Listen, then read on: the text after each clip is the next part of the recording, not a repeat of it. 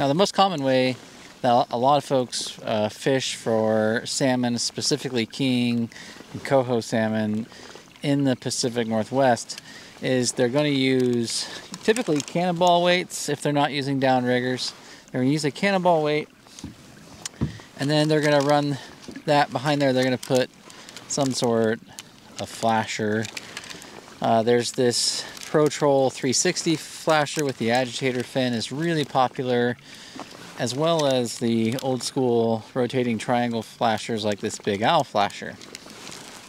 Now, it's pretty common knowledge that these two uh, flashers behave very differently. They create varying, varying amounts of drag, but I've always been curious as to how much uh, using these different dodgers impacts the depth at which I'm running. So today, using that little bright yellow data logger, I'm going to look at the impacts of these two different Dodgers on depth uh, and also look at how speed impacts that. So what I'm going to do is I'm going to clip in a 10 ounce weight and then I've got about a three foot uh, bumper there out to the Dodgers and flashers from the weight like I would typically run when I'm trolling for kings and coho.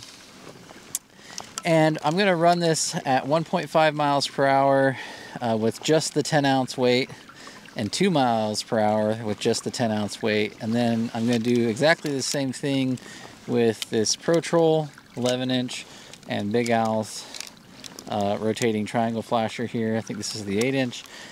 And we'll just see what the data logger shows us. Are we getting a lot more drag and lift out of these different Dodgers or flashers? And how are they impacting our overall depth? it's just key to have this kind of information because sometimes, you know, especially uh, during outgoing tides, these uh, king salmon will hold really tight to the bottom, and being close to the bottom is really critical. But you don't want to be sort of banging on the bottom, dragging and snagging all the time. So let's get started with this experiment and then uh, once I finish collecting the data, I'm doing the data collection today on Lake Chelan because it's big, it's deep, it doesn't have a lot of current, there's no wind, um, so it's really easy for me to control my speeds here. I'm going to be using my Humminbird Helix fish finder with GPS to give me my troll speeds. Like I said, I'm going to try and average 1.5, average 2. I am running 50 pound braid on my Shimano Tekota, which I checked was accurate to plus minus a few percent out to 100 feet. I'll take these out to 150 feet just to see. Um, I know that some kayak fishermen who don't have downriggers in Puget Sound will be interested in those more extreme lengths of line out. And I've seen in other uh, trials I've done like this, you know, sometimes the line drag itself can have a really profound effect on depth. So uh, let's get started with this experiment. So I got off the water and I downloaded all of the data off of the depth data logger and looked at just the 1.5 mile per hour speeds to start, and it was really very, very interesting.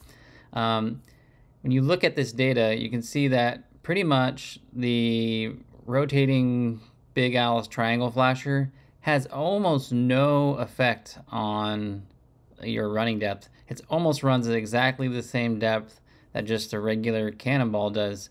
So it runs very true to the actual weight that it's running with.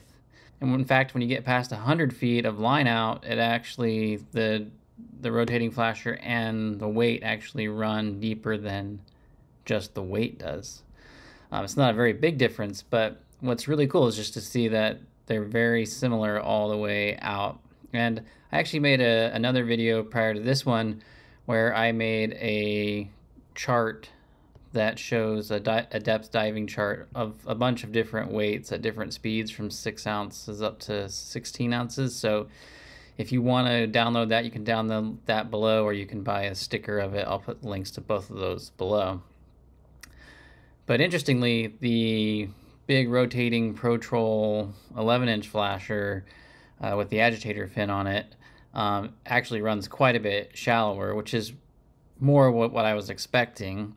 Um, in fact, out past about 40 feet of line out, it runs about 10 foot shallower than the weight alone. So if you're trolling at one and a half miles per hour with this and you use that chart that I have, um, you should essentially estimate that you're running 10 feet shallower than what that shows. Now, if we look at the two mile per hour chart, things look a little bit different, but not that much different. It surprised me. The the triangle flasher, because uh, it's rotating just a bit faster, is trending a little bit shallower, usually two to four feet shallower than just the weight alone. But surprisingly, with the Pro Troll 11 inch flasher, um, it's still just running about 10, 11 feet shallower out past 40 feet of line out. So you can pretty much doesn't really matter what speed you're going at here. Um, it's just running about 10 feet shallower. So it makes it really easy to calculate your depths uh, when you're out there on the water. So it's really interesting results. Not exactly what I expected. I'm actually really shocked at how little of an impact the rotating triangle flasher has on depth. And that does actually help guide you if you're somebody who's trying to get to those more extreme depths. Let's say you're trolling in Puget Sound, where a lot of times these kings will be running in 70, 100 feet deep or more. And you're trying to get down there with just using like a 16 ounce cannonball or something like that um, you'd be much more likely to get into that strike range with the rotating triangle flasher than with a big rotating 11 inch uh, paddle flasher like the Pro Trolls. So they really do have substantially less drag and lift uh, impacts on your gear.